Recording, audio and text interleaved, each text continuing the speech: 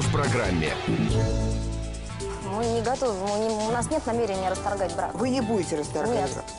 Ну, я просто хочу участвовать в жизни своего ребенка. Ну, участвуйте, пожалуйста, Поскольку ради мой законный законном муж против, Настоящий отец ребенка и муж совершенно разные люди. И это ясно всем троим участникам этой истории.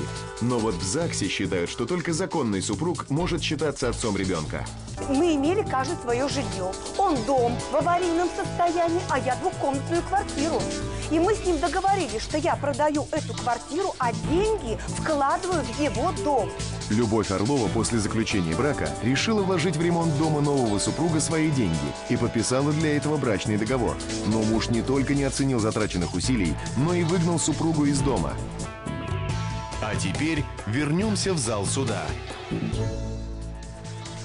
Истцы Наталья Терляева и Евгений Скопцов подают иск об отмене решения органов ЗАГСа, по которому им отказано в регистрации Евгения Скопцова в качестве отца ребенка. Ответчик, представитель ЗАГСа, против иска возражает.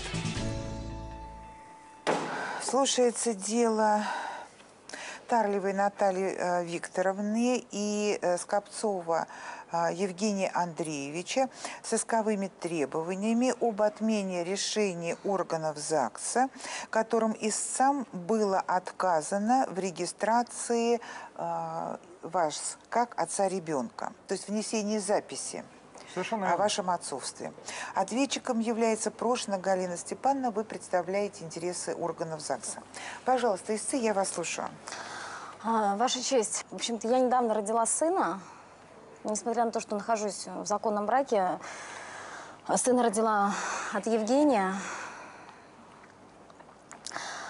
Ну, сейчас не место и не время обсуждать, почему так получилось. А, Муж в курсе всей ситуации. Дело в том, что Евгений не против, он признал э, ребенка, он не против э, участвовать в его жизни и даже готов платить алименты. А, Поэтому, естественно, как бы в органы ЗАГСа я отправилась не с мужем, а с Евгением, чтобы его признали и записали отцом ребенка. Вот там-то и случились все проблемы. В органах ЗАГСа нам было категорически отказано.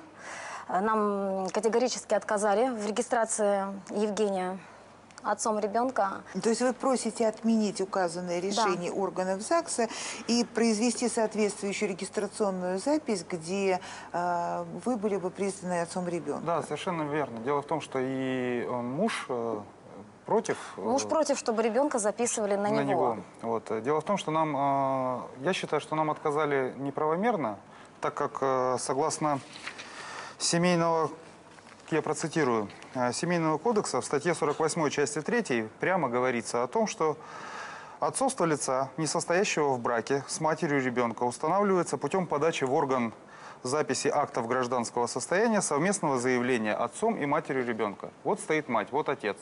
В браке мы не состоим. Э, Заявление, как положено, подали вместе. Скажите, пожалуйста, а мама состоит в другом браке? Ну, мама состоит в Да, браке? конечно. Я Значит, у нас э, ту, ту статью, которую вы процитировали, она, вы абсолютно правильно э, ее процитировали, э, за одним маленьким исключением. Данная статья регулирует порядок добровольного признания отцовства лицами, не состоящими в браке. Вот это как раз наш случай. Да, это не ваш случай. Это означает, что он регулирует отношения между лицами, которые не состоят ни в одном браке. Я могу Нет передать. свидетельства о рождении ребенка да, и свидетельства о заключении брака.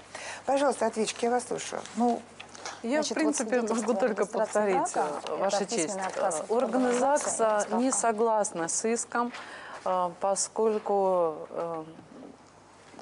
считают, что по закону отцом ребенка должен быть записан законный может муж. быть только, пока Может существует быть официальный брак, Только Терляев э, Николай Николай Андреевич, Андреевич. который является мужем Терляевой Натальи Викторовны. Му- отцом ребенка может считаться только э, Николай Андреевич Терляев. Если хотят э, истцы э, чего-то другого, они могут в судебном порядке оспорить отцовство, и соответствующая запись будет сделана. Только так. Да, у меня ваш- есть ваш отказ, выписка. пожалуйста, да, передайте через пожалуйста, я судебного могу. пристава. А, Ваша честь, у меня есть свидетель. что? У меня есть свидетель. Я могу значит, пригласить свидетеля? Значит, вы меня не поняли. Так, пригласите, пожалуйста, в зал свидетелей истца. Свидетели истца, пройдите.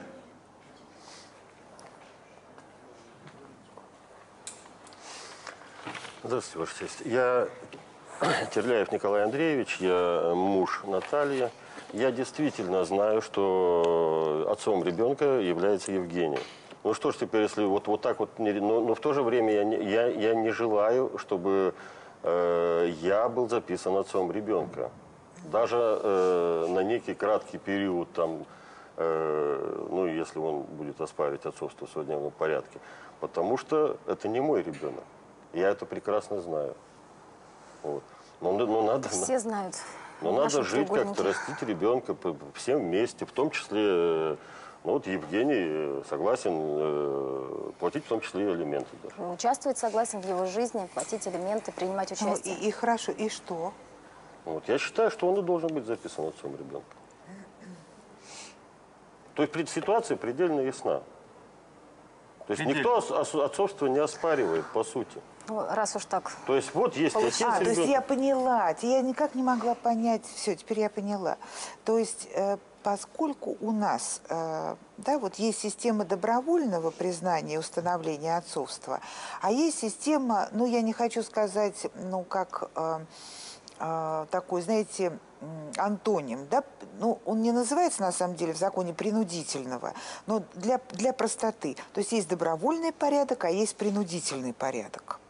Поскольку вы попали в юридическую ловушку, и ваша супруга с вами брак не собирается расторгать, и брак Не до сих собираюсь. пор сохранен, а, то, следовательно, речи не может быть о добровольном а, признании отцовства, и а, вы все вместе скатываетесь к судебному порядку, потому что по-другому это не, не, не устанавливается по той одной простой причине, что не потому, что хотят усложнить жизнь людям, а потому что принудительный порядок признания отцовства – это в первую очередь защита интересов ребенка. Это раз. И, во-вторых, защита интересов родителей – это два, потому что у нас родители обязаны воспитывать и выплачивать алименты своим кровным детям. Сейчас не берем усыновление, удочерение, не трогаем это. То есть я примерно понимаю так, э, что все втроем дружно Поскольку это ваши внутренние взаимоотношения, я так понимаю, что они у вас внутри сложились замечательные, открытые и э, комфортные, вы прочитали пункт третий, решили, что ну зачем нам в суд ходить еще с разными Да, исками, да? верно. Давайте-ка мы пойдем вот этим путем. Все признают, вы говорите, я не папа, мама говорит, папа есть, папа говорит, я папа, хочу участвовать, принимать Ну, участие. действительно, Евгений Ну, хочет понятно. принимать участие. Понятно. Ну, тогда я не могу процитировать пословицу, но, наверное, так. Лень-матушка раньше раз родилась. Примерно так это выглядит. Так, суд удаляется для принятия решения. Прошу всех встать. А теперь вернемся в зал суда.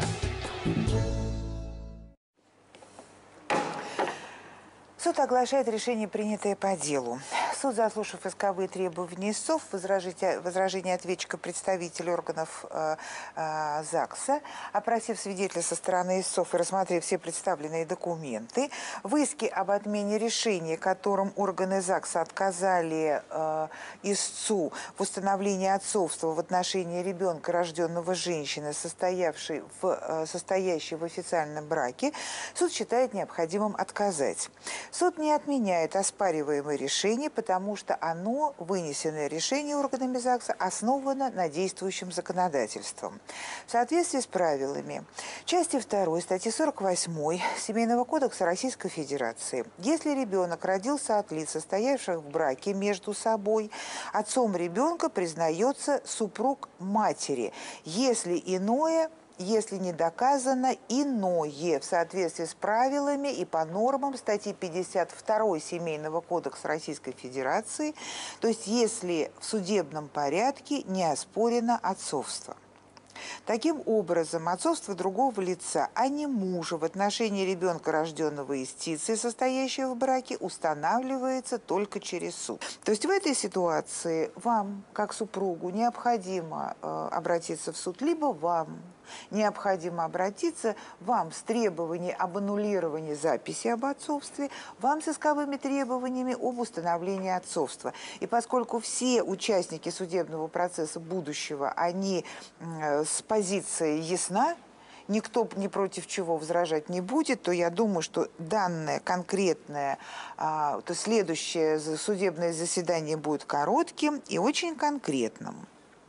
И оно будет вынесено именно либо, если вы обращаетесь в суд, аннулировать запись об отцовстве, если вы обращаетесь в суд, установить ваше отцовство и аннулировать запись об отцовстве. Вам что-то непонятно? Все предельно понятно. Все предельно ясно. А?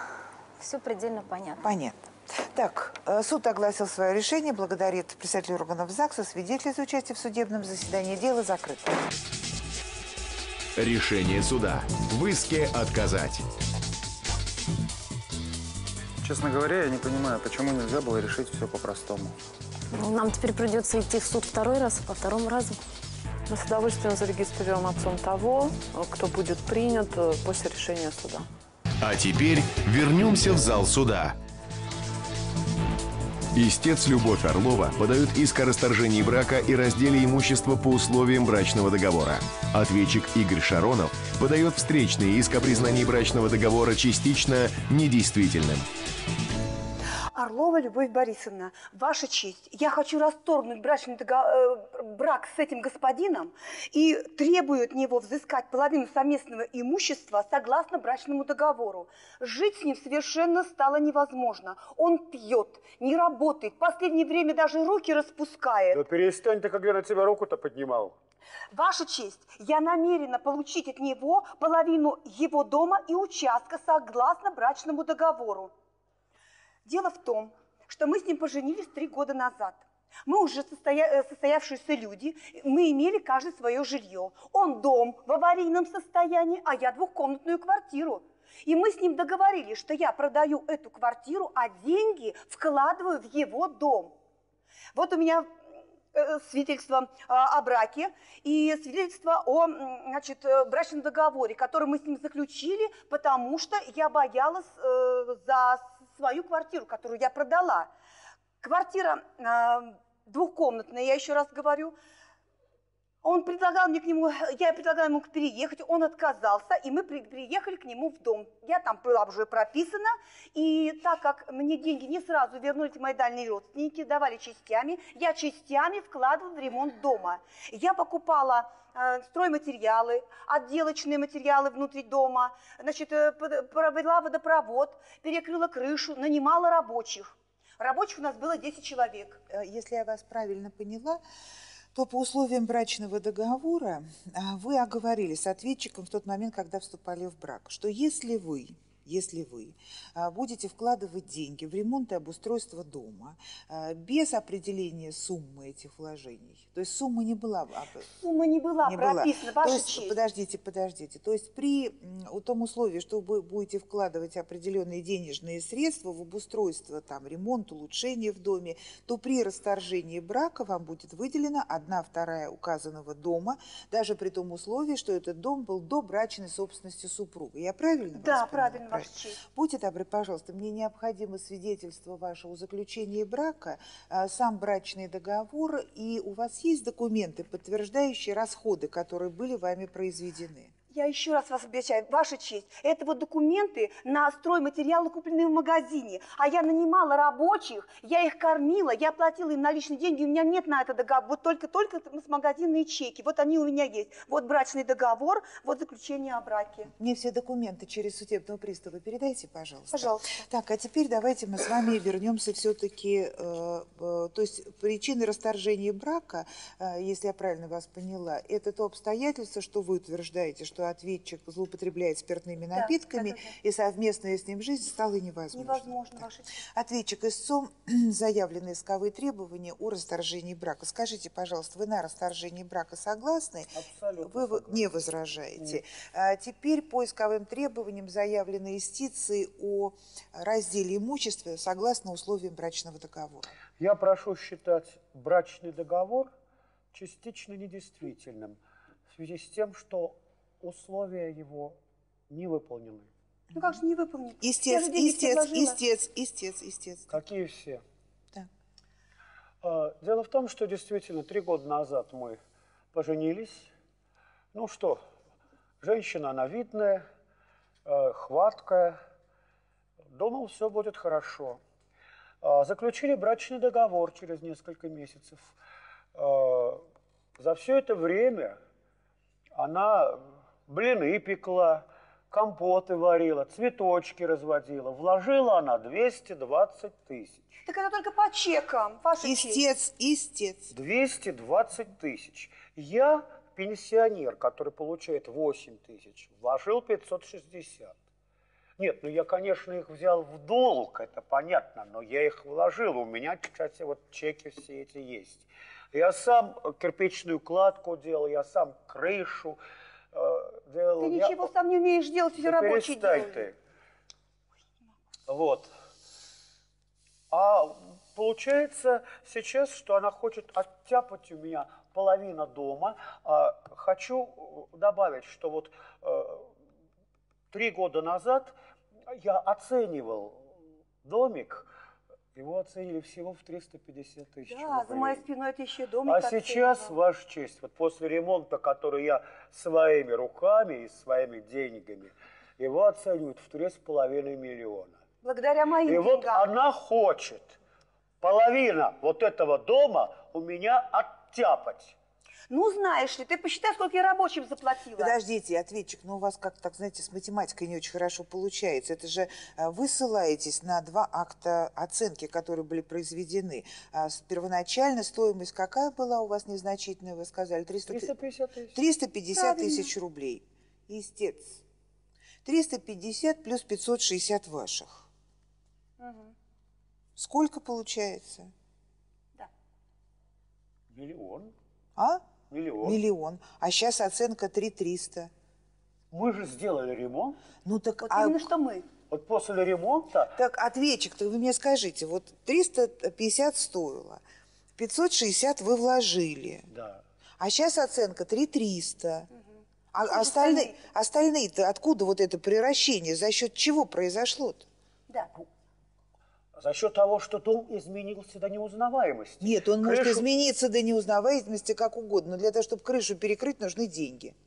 Я занял денег. Ну, вы заняли 560, а сейчас стоимость 3300. Да. На что Ну, ты остальное а- это стоит? Если ты считаешь, что ты сам все делал.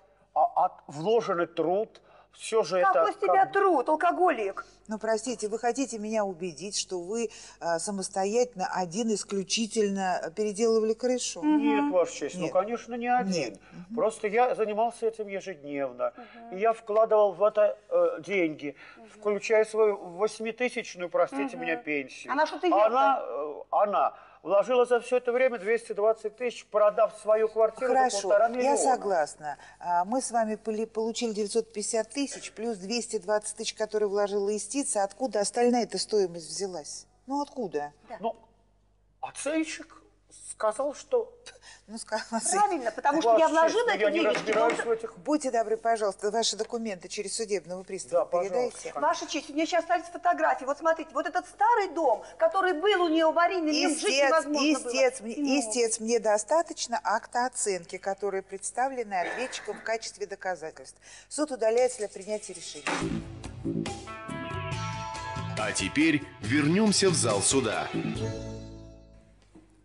Суд оглашает решение, принятое по делу. Суд, заслушав исковые требования истца, э, возражения ответчика по заявленным исковым требованиям, а также рассмотрев встречные исковые требования, заявленные ответчиком в данном судебном заседании, рассмотрев все представленные документы и доказательства, заявленные исковые требования первоначально считать необходимым удовлетворить и признает за истицей право собственности на одну вторую долю земельного участка и на одну вторую долю жилого дома, э, принадлежащих ответчику. Во встречных исковых требованиях э, суд считает необходимым отказать.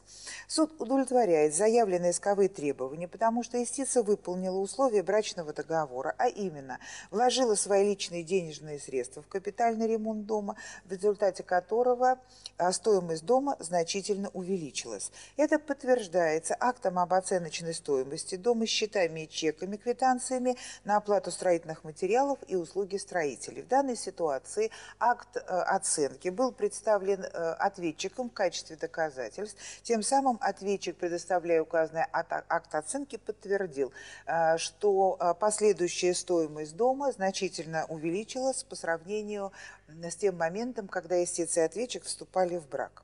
Истец и ответчик суд огласил свое решение, дело закрыто. Решение суда. Иск удовлетворить. Во встречном иске отказать. Подписывая любой договор, нужно все прописывать до последней копеечки. Больше никогда и никого я не пропишу на свою жилплощадь.